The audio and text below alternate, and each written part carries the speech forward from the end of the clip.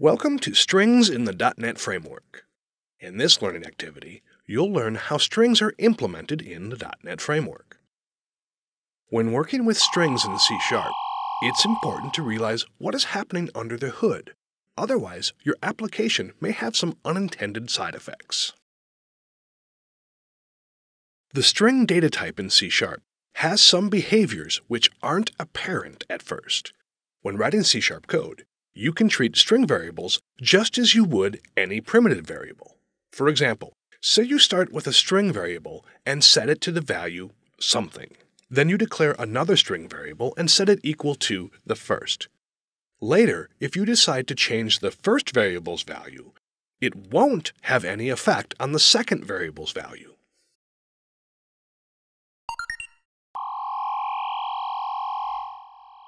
This code behaves as if it were written using a primitive data type, such as an integer. The integer type, like all C-sharp primitive types, is a value type. A value type means the value is assigned to the variable itself. So in the last example, the value of 100 is assigned to the int1 variable. The next line of code assigns int1 to a new integer variable called int2.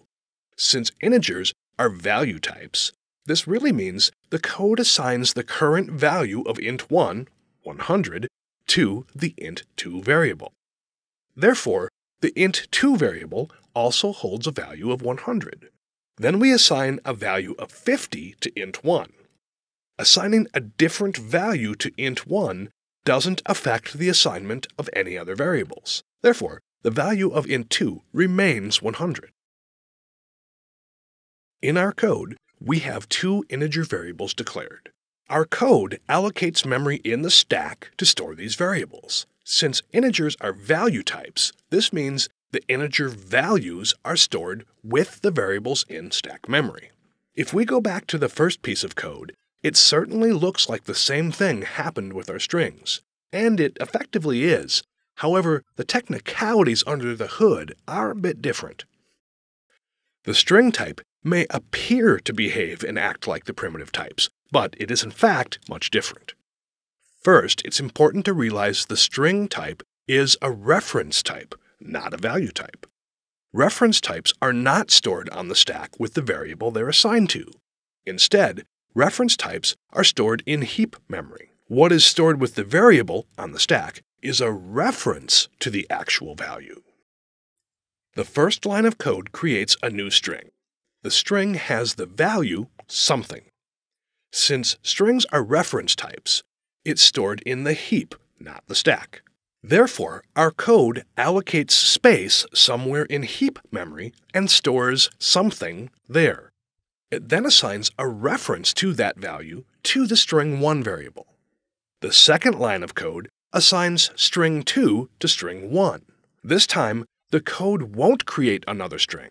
Instead, it simply creates another reference to the same string value that the variable string1 refers to.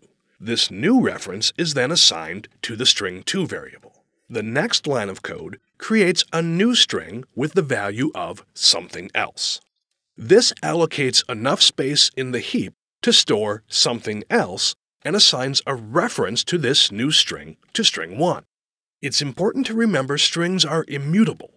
Immutable simply means they can't change. So, you can't change a string once it's defined. Notice a new string is created to store something else. The existing string containing something is not modified. The immutability of strings makes them behave as if they were value types. This makes writing code using strings much more natural because they behave as expected. If strings were not immutable, and in the past example the string value of something was changed to something else, then both string variables string1 and string2 would be equal to something else. This would be a strange and undesirable side effect when writing code using string types. The immutability of strings has some other not so nice side effects in certain situations. One such issue is with the concatenation of strings. Since string values can't change after they're created, concatenating one string to an existing string always results in the creation of a new string. A common example is displaying someone's full name when the person's first and last names are stored in two different variables. If the first name variable is given the value of Fred and the last name variable is given the value of Flintstone, when we concatenate the two strings together, we get a third string containing the value Fred Flintstone. This is pretty straightforward. In this example, we use three variables and three string values to get the full name. However, the resulting value squishes the first name and the last name together. Usually, we would want to add a space between the first and last name. Let's change the previous code to do just that. How many strings are used now? You might guess it's three strings, since there are still only three string variables. You might also guess four strings because we're using an additional string to hold the space between the first and last names. Regardless if you've guessed three or four, you're incorrect. This bit of code actually uses five strings to get our value, because strings are immutable, so we can't change any of our strings. We're using the strings Fred, Flintstone, a space, and a string to hold on to the results. So where is the fifth string? It has to do with string concatenation. String concatenation is a strictly binary operation.